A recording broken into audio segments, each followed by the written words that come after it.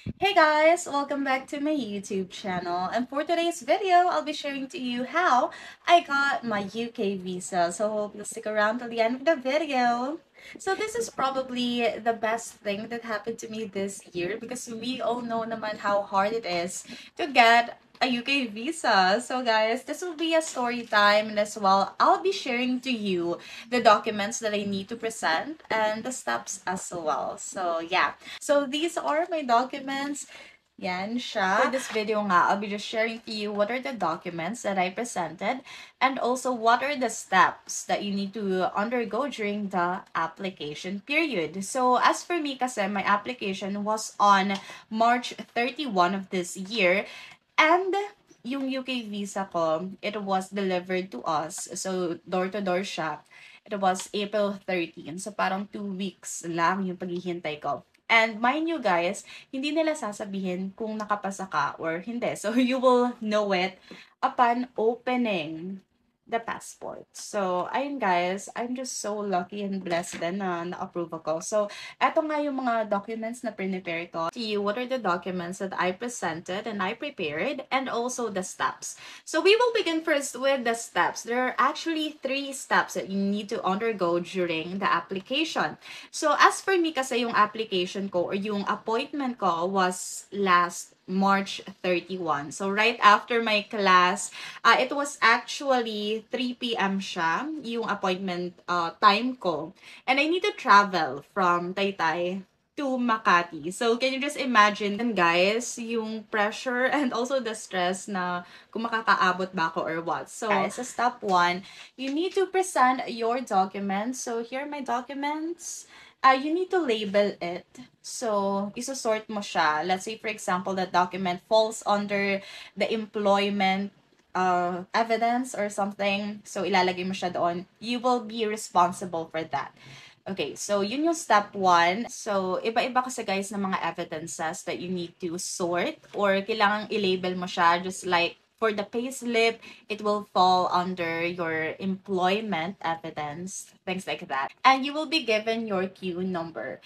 So, next step na tayo. For the second step naman, guys, Uh, this will be about the scanning of the documents. So, since you already have your documents, ang gagawin mo lang is ibibigay mo ang documents sa employee nila and they will be the one to scan your documents, all of it. Actually, I paid for 900 plus pesos for that. You have an option actually if gusto mo bang sila mag-scan ng documents mo or you will be the one to upload your documents. Pero as for me kasi, during that time period, sa week talaga na yun, sobrang busy. So, ay, hindi ako nagkaroon ng time for the scanning of the documents. So, that is step two. And right afterwards, guys, this will be the final step. So, it's so smooth lang din. Parang, almost 45 minutes lang akong nag-process for my UK visa application. So, sa step 3 naman, This will be about the biometrics. So, isa-scan nila yung fingerprints mo. They will be taking a picture of you. As for my picture, guys, hindi kasi ako nakapag-retouch and all. So, hindi ganun ka... I'm not really that pretty sa picture ko. will be the last step, actually. Sa step 3, that will be the final step. And the employee will be telling you to, you, you can now go home. so something. now, you have your idea about the steps. So, three steps lang yun, guys. Sobrang bilis lang. Wala masyadong pila. And kahit 3 p.m. na kasi ako nakadating dun sa visa center, wala masyadong tao. So, it was really smooth.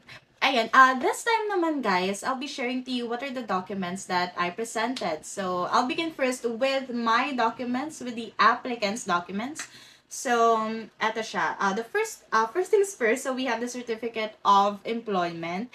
Beforehand or prior to my appointment, ay nakapag-request na ako ng certificate of employment. So, ayan. Since I am working kasi in a government, I see to it na lahat talaga ng evidences that I can look for or na meron akong hawak dinala ko talaga siya, finotocopy ko talaga siya, such as my school ID, uh, my payslip, So, six months, actually, yung present ko doon.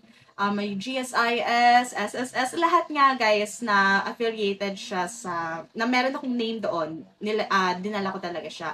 as well as my BIR or my TIN, ganon. So, since I am working in a government kasi, so lahat, lahat talaga ng documents na I can use as an evidence that I'm really working in the government, dinala ko talaga siya guys because I know that they are really strict as well with your the evidences that you will be presenting. So, dinala ko yung lahat. Uh, some of it na fall siya under other documents kasi such as my TIN or the tax identification na form din nala ko kasi yun guys. So na fall siya under the other documents. Ayun. So just make sure that you can really prove that you're working if ever na nasa government side ka or what. Ayun guys. Uh, next naman, of course, is your financial evidence. As for me, I downloaded the bank statement via app. Sa cellphone lang guys. Hindi na ako pumila ng sobrang haba because uh, as for this bank, sobrang haba talaga ng pila. So what I did was, I did the online banking. Tapos, ayun. I've downloaded the bank statement. So travel clearance as well is a must. So as for me, thankfully, I na-approve naman yung travel clearance ko because I really see to it, guys, na uh, yung dates kung kailan ako mag apply for that travel is walang pasok talaga. So, yung wala kang may iiwang responsibility or what. So, yeah, thankfully, I was approved sa travel clearance ko. So, that is also another thing that you need to consider. And of course, do not ever forget your passport kasi dito nila ilalagay yung visa is yung mga prepare ko. So, if ever na wala ka nabanggit, kindly double check na lang sa website ng UK Visa Center. And finally, guys, we have now come to the last part of this video and it's all about the sponsor's checklist or documents. So, eto naman yung mga documents na kailangan mong i-present um, on behalf of your sponsor. So here are the following, just like passport, BRP, birth certificate, certificate of employment, sponsorship letter, bank statement, uh, payslip, affidavit of support, tenancy agreement. So, they really need to look kasi na pagpunta mo dun sa ibang bansa, meron ka talagang tutuluyan and they can support you. So, yun lang yun guys. So, those are the documents that you need to present sa Visa Center for you to have your UK visa. Actually guys, as for me, I was really so excited nung nakuha ko na to. Because finally, I can travel sa European country. And sana ay matuloy because I now have my travel clearance naman. So, yan. So, yun lang yun, guys. So, those are the documents that I presented in order for me to get the UK tourist visa. So, it's only a tourist visa, guys. So, yeah, I hope that you find this video helpful. If you did, don't forget a like button and don't forget to subscribe to my channel for more videos.